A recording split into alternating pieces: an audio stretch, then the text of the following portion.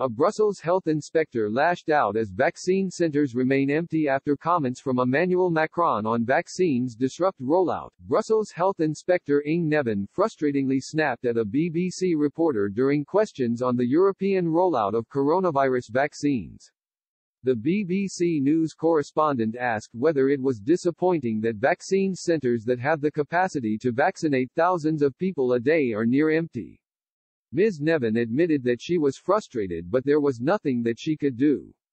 This comes as anger grows at French President Emmanuel Macron after he attacked and questioned the effectiveness of the UK's Oxford and AstraZeneca vaccines. This backlash grows as the United Kingdom continues a successful vaccination program across the country in comparison to EU member states. BBC presenter Rita Chakrabarti explained the growing anxiousness from the EU on the struggling vaccine rollout. She said, European leaders are meeting to work out how to speed up the rollout of vaccines across the continent. In some parts of the EU vaccination rates are a fifth of the rate in the UK. Some countries are now reporting a reluctance to take the AstraZeneca vaccine after countries, including France and Germany, made the decision not to use it on older patients.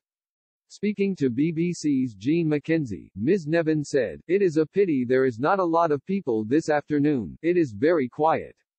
There are not enough vaccines at this moment in time, Ms. Mackenzie replied. It is quite shocking to arrive and to see such a huge vaccination center and see it totally empty.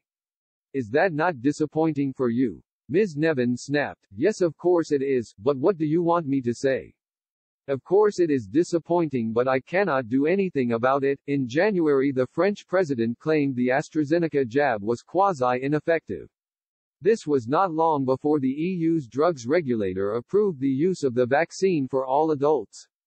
These comments have sparked skepticism among citizens on the vaccine and resulted in a heated backlash directed at President Macron.